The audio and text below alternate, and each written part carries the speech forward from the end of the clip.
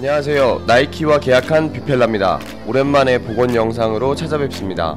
오늘은 많고 많은 신발들 중에 가히 최고라고 할 수 있는 에어주더원 브레드 2001년판을 복원하는 영상을 달아보겠습니다.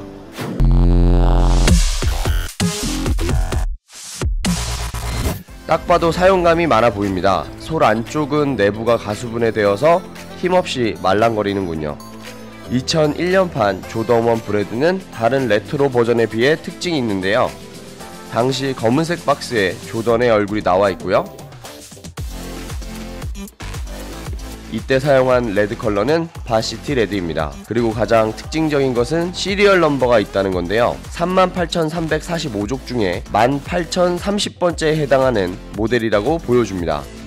당시에 나왔던 royal blue도 이 serial number를 가지고 있죠. 그럼 첫 번째 스텝으로 클리닝을 해주겠습니다.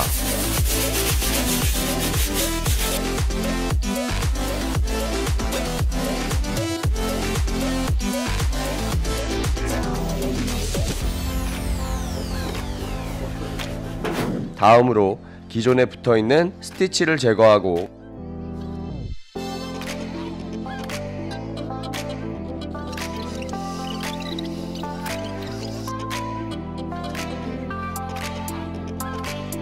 가스분해된 파트를 제거해 주겠습니다.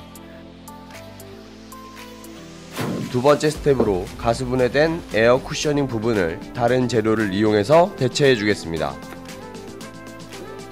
스펀지로 된 부분을 재단하고 잘라줍니다. 다음으로 접착해 주고요.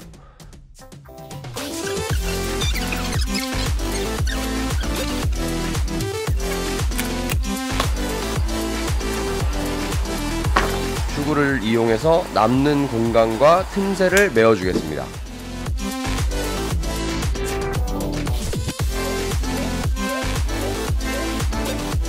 세 번째 스텝으로 기존의 접착제를 제거해 주겠습니다.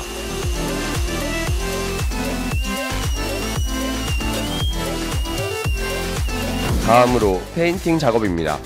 까진 toe cap 부분과 당시에 2001년판에만 특징으로 나왔던 스웨이드 swoosh를 페인팅 해 주겠습니다. 컬러는 red 컬러를 사용해 주었습니다. 색상을 비교해 봤는데 나이키에서는 varsity red를 사용했다고 했지만 실질적으로 엔젤러스 페인트에 레드 컬러가 잘 맞더라고요.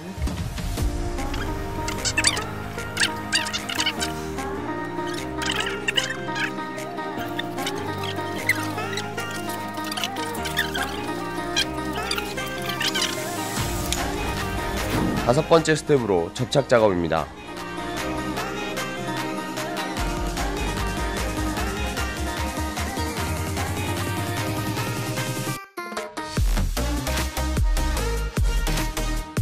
여섯 번째 스텝으로 측면에 손 박음질을 해주겠습니다.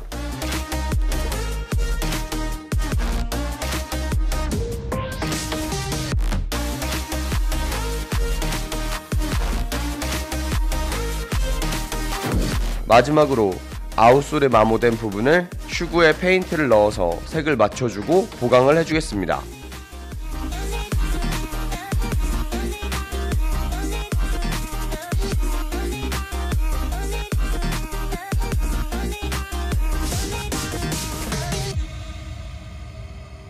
이번 시간은 이렇게 마쳤습니다. 한 두 달 전쯤에 The Legend of AJ1이라는 에어조던 1 banned에 대해서 다룬 영화 시사회에 초청되어서 간 적이 있는데요. 당시 마이클 조던이 나이키와 계약하고 조던 1 banned 컬러를 신고 NBA 경기에 뛰고 그래서 NBA에서 문제가 되고 그것이 다시 마케팅적으로 활용이 되어서 엄청난 유행을 만들어내고 센세이션을 일으키는 이야기를 담은 영화인데요. 그런 전설과 같은 이야기를 만들어낸 에어조던 1을 다룬 영화 영화라 신발 덕후로서 보는 내내 감동이었습니다. 시사회가 끝나고 영화 감독인 덱스턴 데보리와도 사진을 찍었더랬죠. 내년 3월인가 6월인가에 우리나라에서도 개봉한다고 하니까요. 신발을 사랑하는 분들이라면 꼭 한번 보시는 것을 추천해드립니다. 그럼 다음 시간에 찾아뵙겠습니다. 지금까지 나이키와 계약한 비펠라입니다. 감사합니다.